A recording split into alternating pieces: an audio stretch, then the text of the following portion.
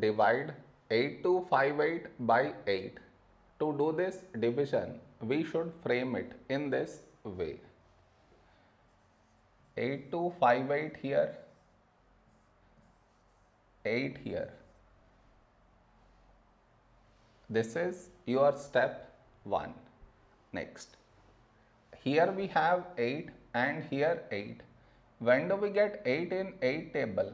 8 ones 8. Now we should subtract. We get 0. After this, bring down the beside number. So 2 down. Now here we have 2 and here 8. 2 is smaller than 8.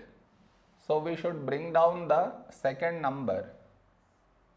And the rule to bring down second number is put 0 here then only we can bring this number down. So 25. A number close to 25 in 8 table is 8 3s 24. Now we subtract, we get 1. After this, bring down the beside number.